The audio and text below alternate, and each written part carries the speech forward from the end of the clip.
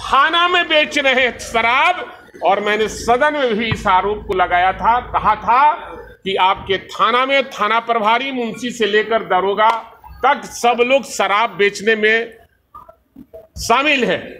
लेकिन सरकार जात पात करती है, पोस्टिंग में। और पोस्टिंग में अगर जात पात करती है, इसलिए बिहार में अपराध नहीं रुक पा रहा है। नमस्कार, आप देख रहे हैं मघी आवाज़ और मैं हूँ आपके साथ बिट्टू गिरी। बिहार में शराब पूरी तरह से बंद है। ना तो पी सकते हैं और ना ही बेचवा सकते हैं। सरकार इसके लिए पूरी तरह से सख्त है। आपको बता दें कि बीते दिन पहले मंत्री जो हैं, राम सूरत राय, उनके स्कूल में छापेमारी के दौरान एक ट्रक भरा शराब के खेप बरामद हुए थे। वैसे में जो राम सूरत राय, उनका बयान आता है कि मेरा शराब, मेरा परिवार से और मेरा स्कूल से करीब 10 साल पहले से कोई रिलेशन ना है। और वहीं आपको बता दें कि जो शिक्षक हैं प्रधानाचार्य उनके हवाले ये बात कही गई थी कि उनका ही हाथ है। वहीं आपको बता दें कि जो शिक्षक है, उनके भाई जो आज तेजस्वी यादव से प्रेस कॉन्फ्रेंस के दौरान बात की और मिले, उनके साफ़ तौर से कहना था उनके छोटे भाई का कि मेरे भाई को फंसाया गया है, वो इस सबसे मामले में दूर हैं। वहीं तेजस्वी यादव ने सवाल खड़े करते हुए कहा है कि 10 साल से आपका रिलेशन नहीं है तो तीन साल पहले आप स्कूल के ओपनिंग सेरेमनी में कैसे पहुँचे? जबकि आपका कोई रिलेशन नहीं है। देखने वाली ये बात होगी कि कौन झूठ बोल रहा है और कौन सच बोल रहा है फ़िलहाल जो कार्रवाई है वो सदन में अभी सद- सत्र के दौरान चल रही है। बात जो विपक्ष के दौरान है वो हमलावर है। आप भाई वीरेंद्र जो हैं वो सीधे तौर पे नीतीश सरकार पे हमलावर होते हुए बोले हैं कि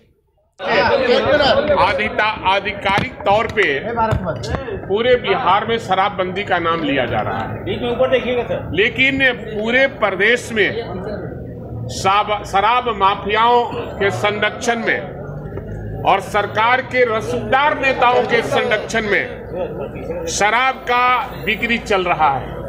कोई ऐसा गाँव, कोई ऐसा कस्बा, मोहल्ला नहीं बचा है जहाँ शराब की धरल्ले से बिक्री नहीं हो रही है। पहले तो होम डिलीवरी हुआ करता था, अब बेड डिलीवरी हो रहा है। तो ये सरकार केवल लोगों को झांसा देती है, आँख में धूल झोंकती है और इनके जो पदाधिकारी हैं, जो चारों तरफ़ जो हमारा बॉर्डर है बिहार का, उसको सील नहीं किया और वहाँ से ट्रक पास करता है बड़ी बड़ी गाड़ियाँ पास करता है, शराब लिए हुए। और दिखाने के लिए अगर 25 को गाड़ी पास कराता है तो एक गाड़ी पकड़ता है कि हमने पकड़ा। तो ये पटना में 11 करोड़ का शराब कहाँ से पकड़ाया? मुख्यमंत्री के नाक के नीचे पटना में 11 करोड़ का शराब पकड़ा जाना, ये अपने आप में आश्चर्यचकित है। हम हम लोग आश्चर्यचकित है।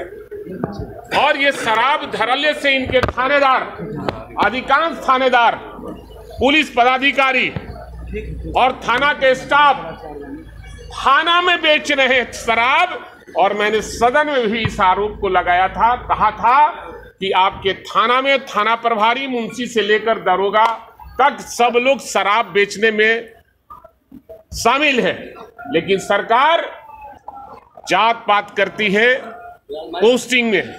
और पोस्टिंग में अगर जात पात करती है, इसलिए बिहार में अपराध नहीं रुक पा रहा है। आरसीपी टैक्स लेकर और पोस्टिंग होती है, जात के नाम पर उनकी पोस्टिंग होती है, और इसीलिए अपराध पर लगाम नहीं लग पा रहा है। रोज हत्या का दौर चल रहा है। रोज पूरे तरीके से एक्साइज विभाग फेल है क्या एकदम एक्साइज विभाग तो एक्साइज विभाग ही नहीं बिहार सरकार नीतीश कुमार फेल हैं और वो सिर्फ़ अपनी कुर्सी बचाने में लगे हुए हैं। सिर्फ़ और सिर्फ़ अपनी कुर्सी कैसे बचे? बिहार के लोग जाएँ जहन्नुम में जाएँ जहन्नुम में। लेकिन बिहार के मुख्यमंत्री चाहते हैं कि हमारी कुर्सी बची रहे और हमारे लोग उनके जो लोग हैं जो रसूखदार नेताओं के लोग हैं, वो चाहते हैं शराब का कारोबार चलता रहे, फूलता फलता रहे, ताकि हम करोड़ों अरबों रुपया कमाते रहे। बस यही हमारा अब फ़िलहाल खबरों के लिए बने रहिए। पल पल खबर आप मेरे साथ देखते रहिए बिट्टू गिरी के साथ, पटना।